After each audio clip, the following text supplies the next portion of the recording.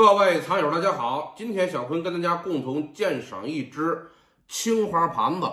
呃，这件青花盘子的纹饰呢是比较特殊的，呃，也是比较珍贵、比较传统、更比较稀少的。呃，我们今天分享的知识内容呢，主要有两点。第一点呢，就是把这件青花盘子的纹饰给大家解读一下，啊，捎带着呢说一些它的拓展知识。呃，第二一点内容呢。是把这件盘子的年份啊给大家说一下，这件盘子的年份呀，也是结合着这个纹饰题材给大家说，它是比较重要的内容啊，大家认真听啊，听完了以后呢，多总结啊，希望呢大家将来见到此类的盘子或者此时期的盘子能举一反三，因为这件盘子呢纹饰特征啊、胎质特征啊、传统的包浆啊比较好判断，可以作为学习的样本。啊，加上这个题材又非常少。首先，我们看第一点，这件盘子的纹饰，大家注意看啊，这个盘子的中间呢画了一只松鼠，它在这个葡萄树上面啊，正在这个摘这个葡萄吃。这种纹饰的名称叫什么呢？就叫松鼠吃葡萄。啊，行内呢也管它叫松鼠偷葡萄。啊，这一个偷字呢。更能体会出来这个画面的惬意感。这是我们在视频当中第一次给大家介绍这种纹饰的瓷器。呃，我们大家知道，这个瓷器上的纹饰图案啊，一定有它的吉祥的寓意。呃，我们中国传统的吉祥纹饰呢，啊，通常是以吉祥语啊，或者民间谚语啊，还有神话故事为题材。呃，最早的啊，这个吉祥纹饰呢，可以追溯到这个商周时期，在这个青铜器上边啊，但是呢，那时候不太明显。呃，发展于唐宋，盛行于明清，在明清时期呢，几乎可以达到了画必有意，意必吉祥的地步。松鼠吃葡萄纹在明清两代瓷器装饰题材当中呢，是比较名贵的一种。大家注意啊，它是非常稀少的。名贵就是稀少，呃，这个葡萄纹饰呢，起源于什么时期啊？最早可以追溯到唐代。如果大家接触过铜器的话，啊，接触过铜器、玩过铜镜的话，可以知道一种海兽葡萄镜，就是唐代的。啊，之前呢，我也过手过一个海兽葡萄镜，只不过那个品相呀稍微差一点儿。跟我是好友的话呢，啊，大家可以留意过我之前发布的这个。到明清时期呢，这种葡萄纹啊，在瓷器上呢开始逐渐的增多，啊，深受文人的喜欢。为什么文人喜欢这种葡萄纹呢？这个文人啊，经常用这个葡萄纹来比喻君子为人为官应有的品德。这个品德呢，就是优秀的品德，美好的品德。尤其在这个明代中期以后，这个朝政开始逐渐的腐败，啊，社会上呢更加看重这种士大夫的啊清正节气、清正廉洁节气，啊，这是当时的时代背景。所以在这个明代的民窑瓷器上呢，开始大量的出现这种葡萄纹或者松鼠吃葡萄纹的瓷器，来彰显这个正人君子的寓意。如果大家接触过明代瓷器的话，接触过明代罐儿的话，明代啊中晚期以后呢，尤其是嘉万时期啊，经常出现一种瓜棱罐儿啊。像大家跟我是好友的话，我这个头像啊有一个呢，就是明代的瓜棱罐儿，嘉万时期的。但是呢，我那个是松竹梅的。我之前呢还过手过一个，就是松鼠吃葡萄的这种小的啊，大概其这么大。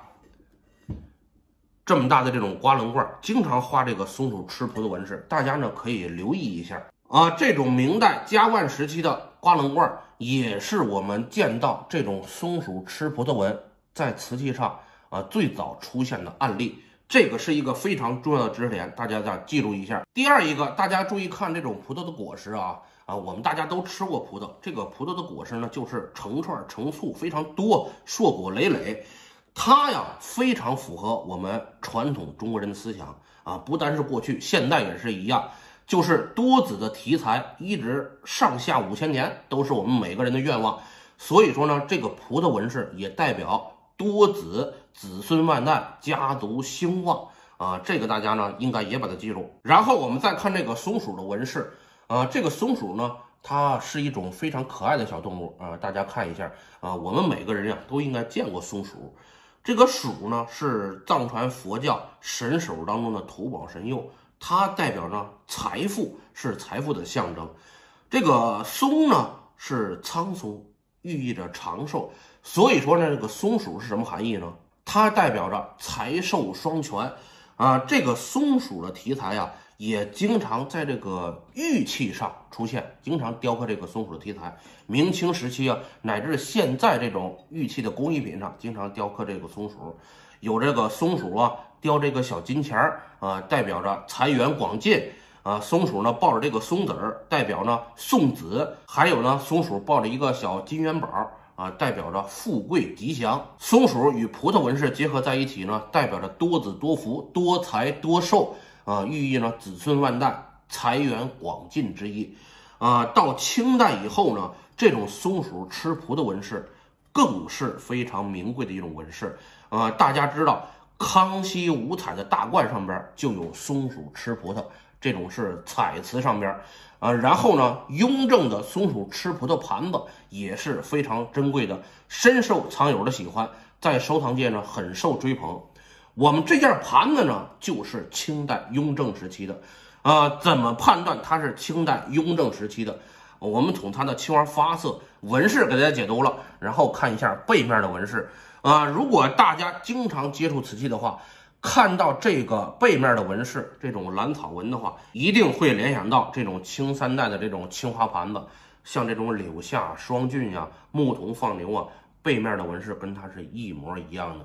然后着重给大家看一下它的胎质，大家看了吗？这种细沙底、细沙底的瓷器出现最晚是什么时期啊？乾隆及乾隆以上，年份呢有一个划定的界限。然后我们再看它的修胎，这个修胎呢非常的细腻啊！大家看啊，我这个手摸这个地方，胎质洁白啊，呈糯米状。这个东西呢达不到康熙，是雍正时期的，但是这个胎质。宽边已经是非常细腻的了，可以说跟糯米胎接近。然后大家看这个黑色的地方啊，这个黑色的地方呢是百年的传统毛浆，几百年了。我把这个地方清理了一下，边缘呢这个油泥太厚，我就没有用力的清理。一会儿大家镜头转过来呢，看的会更加详细。其实如果我们藏友刚接触过这种松鼠吃葡萄这个盘子的话，可以先把它的年份记住。其实你只要出现了这种纹饰，在这个青花盘子上边，它就是雍正的，没有其他时期的。就像我们跟大家说的过墙龙一样，基本上就是雍正、乾隆时期的。你没有光绪的，也没有道光的啊。冰梅罐呢，起源于康熙，你也不能说是明代的。它每个时期特定的风格就是这样。这个松鼠吃葡萄纹饰的青花盘子，就是清代雍正时期特有的风格。啊，这个盘子的正面呢，我这样照着可能比较反光啊。一会儿镜头转过来，大家可以看到这种传统传世的青花盘子，啊，保存完整到现在，啊，质量这么好是非常难得的。啊，镜头转过来以后呢，大家会看得更加详细，印象呢会更加深刻。啊，把这期视频多看一看。现在镜头给大家转过来了，啊，大家近距离的看一下这种松鼠吃葡萄的纹饰，啊，大家看这种釉面啊。这种是传统传世的釉面啊，看这个青花发色，吃胎的力度，大家看这个画工画的非常精细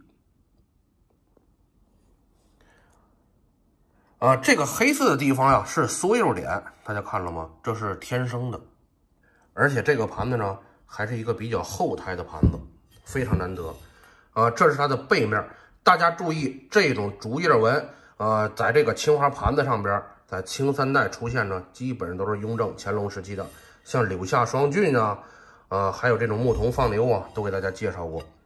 然后啊，着重就是这胎质，啊，这个胎质呢是细沙底，啊，这个圈足呢，这个太细腻了，这个胎质，我把镜头给大家放大一下。现在镜头给大家放大到一点五倍。大家看啊，这种细腻的程度，这种瓷胎的密实程度，然后看一下，这是真正的百年传统包浆，几百年的传统包浆。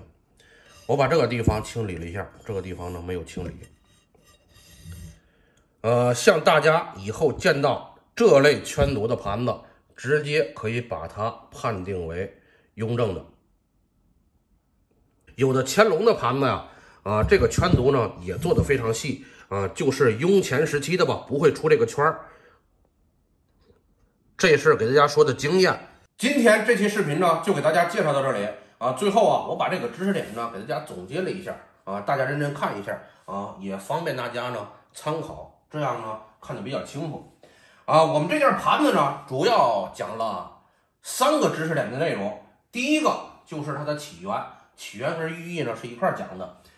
这个松鼠葡萄纹呢，如果大家接触过铜器的话，在这个唐代海兽葡萄镜上面。啊，可以看过这个葡萄纹啊，这个海兽呢就是海马啊。然后呢，在这个明代中晚期，尤其在嘉万时期，这种瓜棱罐上面啊，大家接触到了这种松鼠吃葡萄纹饰。为什么在这个时期开始出现这种松鼠吃葡萄啊？它有两个特定含义，就是它的寓意啊。这个中国传统吉祥纹样呢，啊，始于商周，发展于唐宋，盛行于明清。啊，在明清时期呢，几乎可以达到了画壁有意、意味吉祥的地步。